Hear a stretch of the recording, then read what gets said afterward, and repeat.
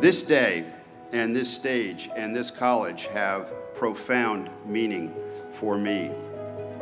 I wonder what our founders would think of Dickinson today. And I wonder what they would think of me about how my vision for the college fits with theirs and about whether they would think that the college is in good hands. And I've concluded that I would assure them that it is. After all, Dickinson set me on my way, and now I have the privilege of leading this world-class institution with my Dickinson education as my roadmap.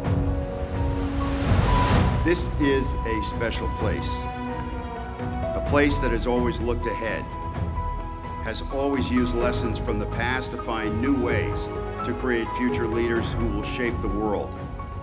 I stand here today as a passionate advocate for the liberal arts and one who is bullish on our future.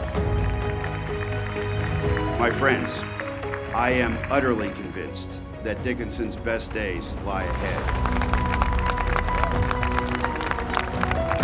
Being a Dickinsonian is a lifelong journey. Trust me, it does not end when you walk down the stone steps behind me. I invite all of you, students, parents, alumni, and friends of the college to consider this question. What is your Dickinson experience going to be? You know what it's been until now, but look ahead and consider what your relationship with Dickinson will become.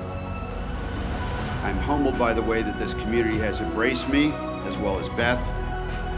I accepted this honor because I saw it as the opportunity of a lifetime, and it surely is. So today, my friends, I am challenging you. Join me charting our revolutionary future and launching us ever forward.